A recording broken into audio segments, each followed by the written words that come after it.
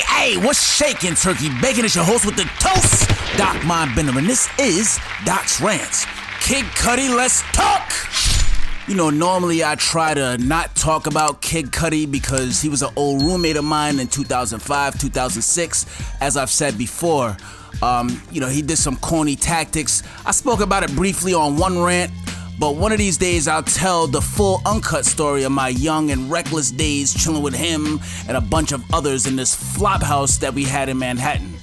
Pusha T got an album titled It's Almost Dry, dropping soon. Cudi confirmed that there will be a collaboration with Kanye West and King Push on that album. Now, Cudi took to Twitter, as they all do, to say, and I quote, Hey, so I know some of you heard about the song I got with Push.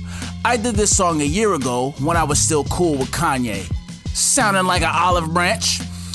I don't know, nigga might be sitting by the phone waiting for Kanye phone call. Even though Kanye wrong in the situation, Cudi is at his beckoning call like a faithful hound dog, I bet. Probably never ever did that man wrong. My opinion. But anyways, he went on to say, I am not cool with this man. He is not my friend, and I only cleared the song for Push because that's my guy. This is the last song you will ever hear me on with Kanye. That right there, my friends, is a lie. It's not a bull-faced lie.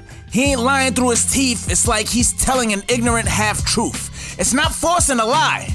Now, knock on wood, I hope Kid Cudi continues to live a long, fruitful life where he could live out his dreams tenfold and wear dresses, pantyhose, all his wildest Hollywood weird ass fantasies. But if he was to die tomorrow, nigga, all them songs is dropping, I promise you. Kid Cudi would be a bigger artist than he could have ever imagined. It's crazy how that works, right? The game is so discombobulated, especially the rap game. If Cudi got locked up and did a year and a day, depending on what he went in for, he gonna come out and triple the revenue he had before the jump off. Like I said, I know the type of guy Cudi is personally. He's so happy to be where he is, he's not out here burning bridges. I'm sure he has showed nothing but the utmost respect and reverence for Kanye West since they've known each other. You know what I'm saying? And and I'm just speaking for his character. The nigga I knew before he did some lame shit. We had our differences back in the day, but I was raised right by some of the hood's most noble men and women.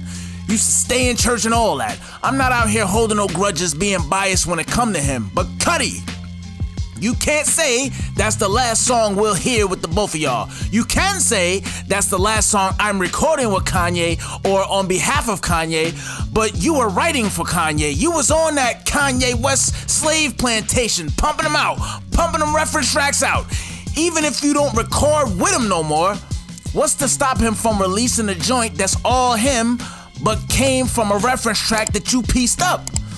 That's when you see these guys mad. Oh, oh, he stole my music. He took my publishing. Ah.